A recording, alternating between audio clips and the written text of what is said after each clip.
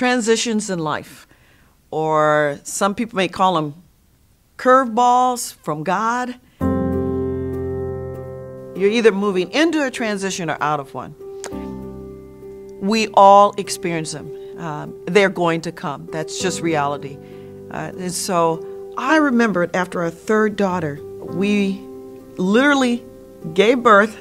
I gave birth and we moved from Detroit to Minneapolis. Threw my world upside down. A wife, a mother, a new state, new campus, a ministry of 250.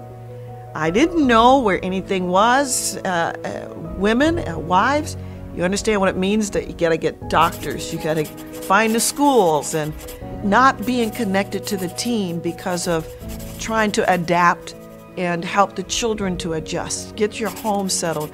Learn just the city and your surroundings.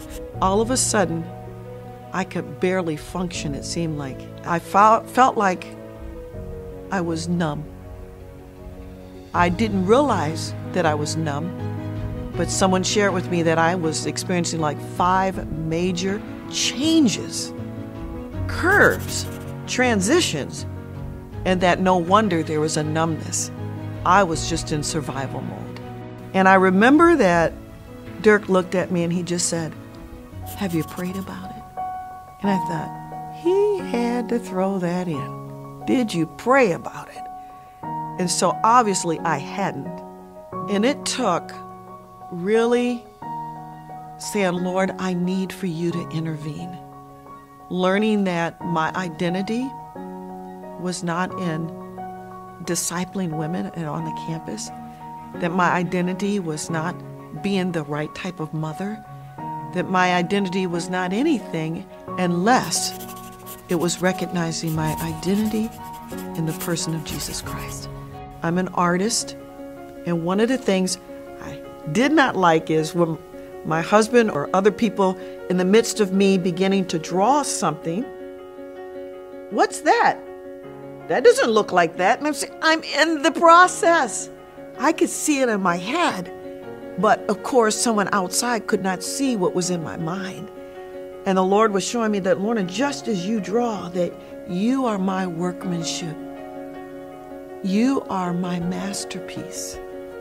From the time that you have come to know me, I am creating a masterpiece, putting together for my purposes and for my will. That was helpful because it began to help me to understand these curves and these transitions in life were God's way of uh, refining. And I thought, in all this faithfulness, whether it was moving into marriage, moving into having children, walking and raising these little sinners to be disciples for Christ in the future, and I still kept my hand in the ministry. These girls that were coming to know the Lord, they desired to be a mother, they desired to be a wife. I was realizing how God was giving me a chance to disciple them more than just the Word of God, more than just how to transfer the gospel to another, but how to live life, the life of Christ.